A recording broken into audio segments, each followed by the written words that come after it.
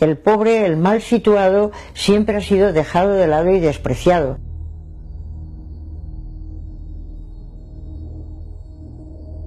decidieron que iba a ser la palabra del año, dieron una razón que a mí me gustó mucho, y es que es una palabra que tiene capacidad transformadora de la realidad.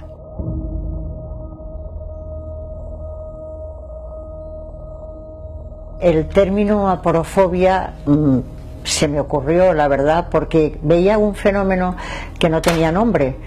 Eh, se hablaba mucho de la xenofobia, que es el odio al extranjero, o la prevención, o el recelo frente al extranjero, y a mí me daba la sensación de que eso no acaba de ser así, porque hay extranjeros que son muy bienvenidos y son pues los futbolistas de fama o, o los turistas que vienen a traer una gran cantidad de dinero y son extranjeros, pero todos estamos encantados de que vengan, porque los pobres sí que molestan, parece que no se sabe qué hacer con ellos y una comparación muy fácil es la de eh, los extranjeros que vienen a través del estrecho e intentan llegar a las costas de Italia, de España, etcétera, que no se les recibe con ninguna alegría sino con hostilidad y los que turistas que vienen en aviones trayendo dinero se les recibe muy bien.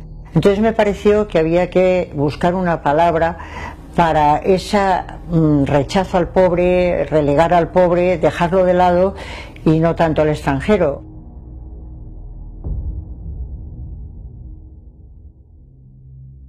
No solamente se da en determinados pueblos, en determinadas razas, en determinadas clases, sino que desgraciadamente se da en todos los lugares, en todos los sitios. Los gitanos que eh, molestan no son los de la familia de Lola Flores y los gitanos que cantan y que tocan maravillosamente bien, sino los que van rebuscando en los contenedores y los que en los barrios pobres están viviendo de las papelinas y de la droga. A Trump no le molestan los extranjeros en general, sino justamente los mexicanos, los nicaragüenses, los que crucen la frontera y a esos hay que ponerles una valla. A los jeques árabes no, no se les pone una valla y eh, bueno, y reciben al rey de España y reciben a quien sea, todos son extranjeros, eso no es problema. El problema empieza justamente con los mexicanos y con todos los demás y se llega incluso a separar a los niños de los padres, cosa que gracias a Dios han vuelto atrás porque es una barbaridad, que una salvajada que no entendíamos nadie, ¿no? Hay gentes que ven a un mendigo en la calle y justamente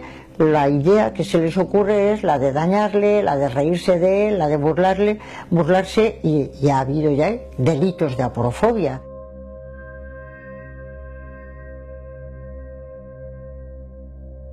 Yo creo que en parte va en aumento y en parte no, afortunadamente.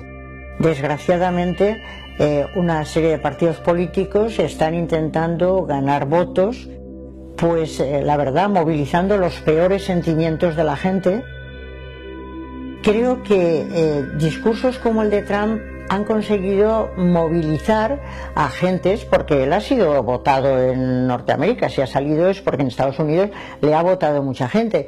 ¿Y por qué le ha votado? Pues porque ha extendido esa idea de que es que van a quitar trabajo, es que van a traer problemas, es que van a reclamar ayuda sanitaria, es que va a crecer la delincuencia. Entonces empieza a unir a la palabra mexicano, a la palabra nicaragüense, pues delincuente, gente que quita trabajo, y eso a las personas que están en una situación media, baja, les resuena y dicen, ah, nos vienen a quitar, nos vienen a... y entonces votan a ese presidente que les va a defender de todas estas personas.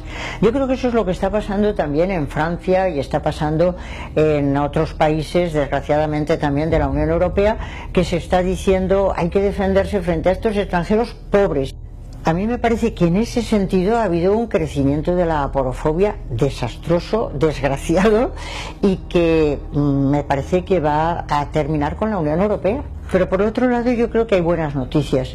Hay cantidad de organizaciones y de grupos que están absolutamente en contra de la aporofobia. Están absolutamente en contra de que se margine a los pobres y a los desvalidos. Y bueno, recientemente hemos tenido una experiencia aquí en la comunidad valenciana que a mí me alegra mucho, y es que la avenida del Aquarius no solamente fue eh, recibida con entusiasmo por eh, determinados grupos, sino que fue recibida con entusiasmo por todo el mundo.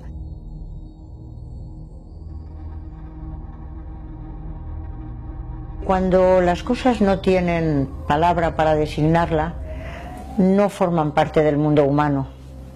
Las personas necesitamos reconocer con palabras las cosas, en el libro que yo escribí, Aporofobia, eh, empezaba el primer capítulo con unas líneas maravillosas del comienzo de Cien años de soledad de Gabriel García Márquez. Y dice, el mundo era tan reciente que algunas cosas carecían de nombre y para mencionarlas había que señalarlas con el dedo. Cuando las cosas no tienen nombre, hay que señalarlas con el dedo. Pero se puede señalar con el dedo los bolígrafos y el teléfono.